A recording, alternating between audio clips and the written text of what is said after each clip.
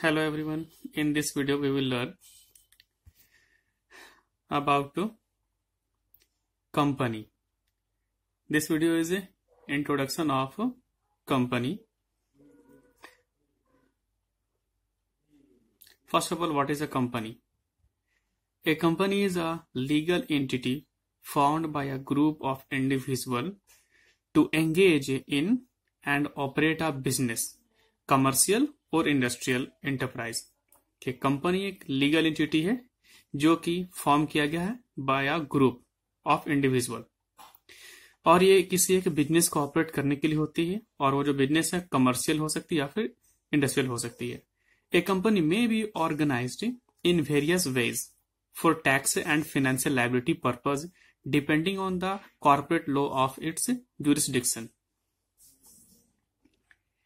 A company's business line depends on its structure, which can range from a partnership to a proprietorship or even a corporation. Companies may be either public or private. The former issues equity to shareholders on an exchange.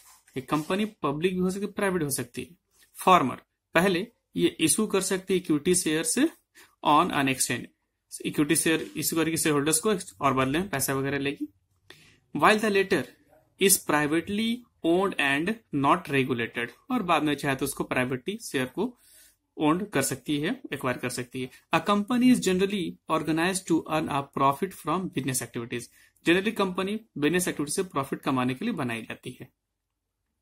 Now how company work a company is essentially an artificial person ये तो artificial person है।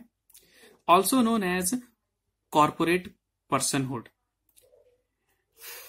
In that, it is an entity separate from the individuals who own, manage and support its operation. देखिए इसका एक separate entity है उस individual से हट करके जो इसको ओन जो, जो इसके मालिक है हु ओन्स जो इसको मैनेज करती है और जो सपोर्ट करती है इसके कामों को companies are generally organize to earn a profit from business activities though some may be structure as non profit charities generally company जो है बिज़नेस एक्टिविटी से प्रॉफिट कमाने के लिए बनती है, यद्यपि कुछ बिना प्रॉफिट के लिए चैरिटी पर्पज से भी हो सकती है। Now we should know about promoters who is promoters देखिए प्रोमोटर्स वो हैं जो कंपनी को मतलब जब से कंपनी बनाने का प्रोसेस शुरू हुआ, तब से लेकर कंपनी काम करने के लायक सिचुएशन पे ना आ जाए। मतलब कंपनी शुरू होने की स्थिति तक आ जाए। तो कंपनी को स्टार्ट करने के पोजीशन तक पहुँचाने में जितने लोग काम करते हैं, उन लोगों को हम लोग प्रोमोटर्स बोलते हैं। According to section two sub section sixty of the companies act 2013 defines promoters as an individual who, first, is named as a promoter in the prospectus. Or in the annual return of the companies.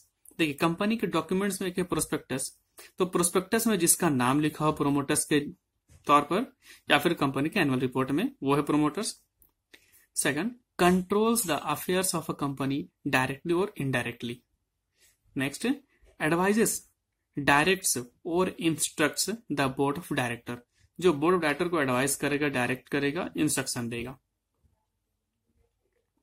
Hence we can say that promoters are people who originally come up with the idea of the company तो promoters वो हैं जो company के idea के साथ आते हैं form it and register it और कंपनी को लोग बनाते हैं और कंपनी का रजिस्ट्रेशन भी करवाते हैं.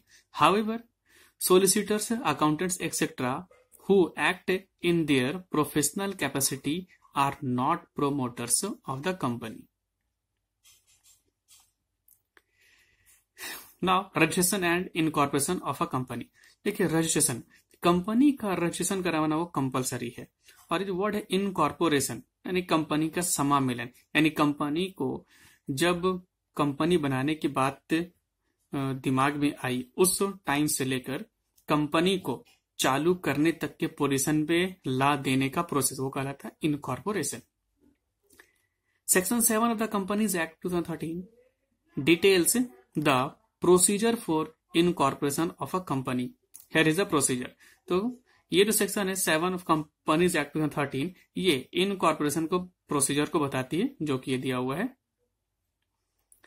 Filing of company registration paper with the registrar तो सबसे पहले कंपनी कराना पड़ेगा रजिस्ट्रेशन और उसके लिए रजिस्ट्रेशन फॉर्म फिल करना पड़ेगा रजिस्ट्रार ऑफ़िस में। To incorporate a company subscriber has to fill the following company registration paper with the registrar within whose jurisdiction the location of the registered office of the proposed company falls. तो company, जो propose company उसका registered office है, वो जिस jurisdiction में आता है, उस जुरिस्डिक्शन के रजिस्ट्रार ऑफ़िस में जाकर इसे ये रजिस्ट्रेशन फॉर्म भरना पड़ेगा और इसमें ये सब डॉक्यूमेंट लगेंगे the memorandum and article of the company. Company की दो डॉक्यूमेंट है ये, मेमोरेंडम ऑफ़ एसोसिएशन और आर्टिकल ऑफ़ एसोसिएशन। ये दोनों डॉक्यूमेंट यहाँ पे देना पड़ेगा। All subscribers have to sign on the memorandum the person who is engage in the formation of the company has to give a declaration regarding regarding compliance of all the requirements and rules of the act देखिए, अब वो जो person the person who is engage in the formation of company जो company के formation में person engage हैं, उनको has to give a declaration एक डिक्लेरेशन देना पड़ेगा regarding compliance of all the requirements and rules of the acts तो जितने भी रूल हैं और जो अनुपालन करने के उन सब के बारे में एक डिक्लेरेशन देना पड़ेगा। A person named in the articles also has to sign the declaration और आर्टिकल में जिस पर्सन का नाम होगा, उनको भी डिक्लेरेशन पे साइन करना पड़ेगा। Its subscriber to the memorandum and individuals named as first director in the article should submit the submit an affidavit with the following details हम देखिए, जो फ़र्स्ट डायरेक्टर्स हैं, उनको इस डिटेल के साथ एफिडेविट भी सबमिट करना पड़ेगा अब डिटेल देखिए वो क्या है। declaration regarding none conviction of any offense with respect to the formation, promotion or management of any company. Second, he has not been found guilty of fraud or any breach of duty to any company in the last five years. The documents filed with the registrar are complete and true to the best of his knowledge.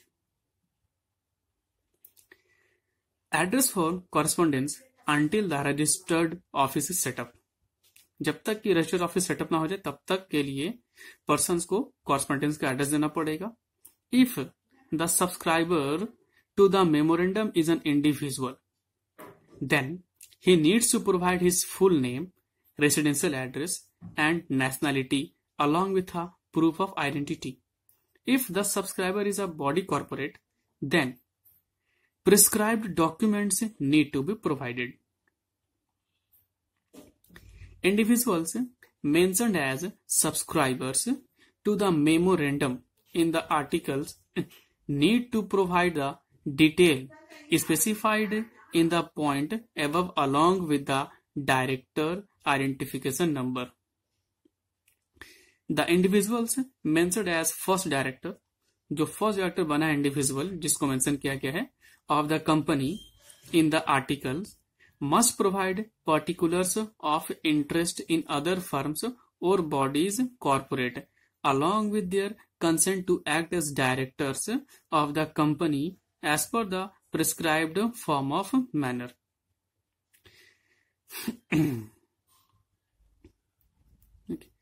Issue of certificate of incorporation पहले सारा detail discuss किया गया कि company के registration के लिए क्या क्या करने पड़ेंगे। उन सारी डिटेल्स को पूरा कर लेने के बाद जब रजिस्ट्रार कंफर्म हो जाता है, तब वो इशू कर देता है सर्टिफिकेट ऑफ़ इनकॉर्पोरेशन और उसके कंपनी को शुरू किया जा सकता है।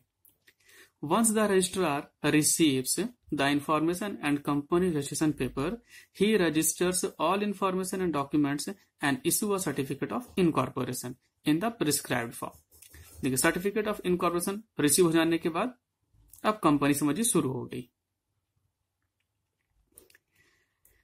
Corporate identity number C I N the registrar also allocates a corporate identity number to the company which is a distinct identity for the company the allotment of C I N is on and from the companies incorporation date CI number जो मिलेगा company के incorporation का date से ही मिलेगा। The certificate carries this date certificate date लिखा हुआ होता है। Thank you